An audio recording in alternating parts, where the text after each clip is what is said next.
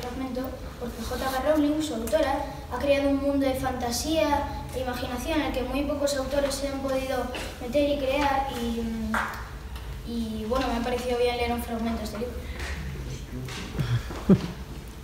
Capítulo 3. La madriguera. ¡Ron!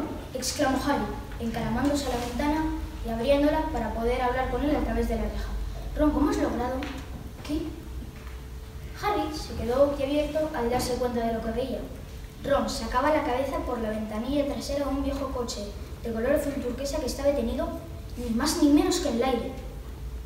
Sonriendo Harry desde los asientos delanteros estaban Fred y George, los hermanos gemelos de Ron, que eran mayores que él. ¿Todavía, Harry? ¿Qué ha pasado? preguntó Ron. ¿Pero por qué no has contestado mis cartas? Te he pedido unas doce veces que vinieras a mi casa a pasar unos días. Y luego mi padre vino un día diciendo que te habían enviado apercibimiento oficial por utilizar la magia delante de los muggles.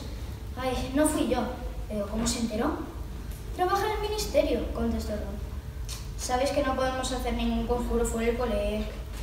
Tiene gracia que tú me lo digas, repuso Harry, echando un vistazo al coche flotante. Eh, esto lo cuenta, explicó Ron.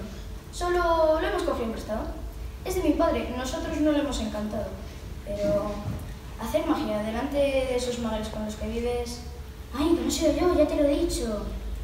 Pero es demasiado largo para explicarlo ahora. Mira, puedes decir en Hogwarts que los dos le metían encerrada y no podría volver al colegio.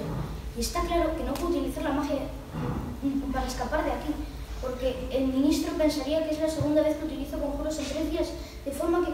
Deja de decir tonterías, dijo Ron. Hemos venido a llevarte a casa con nosotros. Pero si tampoco vosotros podéis utilizar la magia para sacarme de aquí.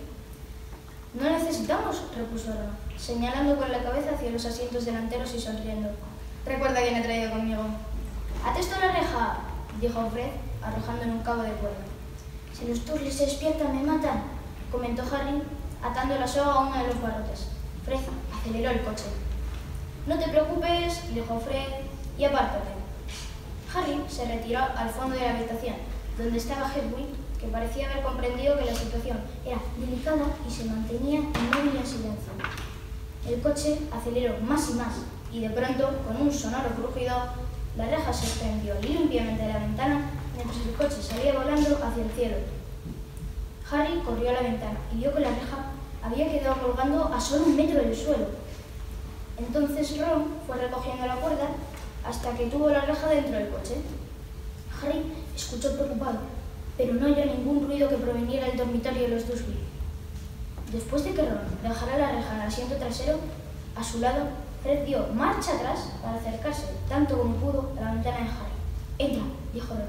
Pero todas mis cosas de Hogwarts, mi arita mágica, mi escuba, ¿dónde están? Guardadas bajo llave en la alacena debajo de las escaleras, y yo no puedo salir de aquí. No te preocupes, dijo George.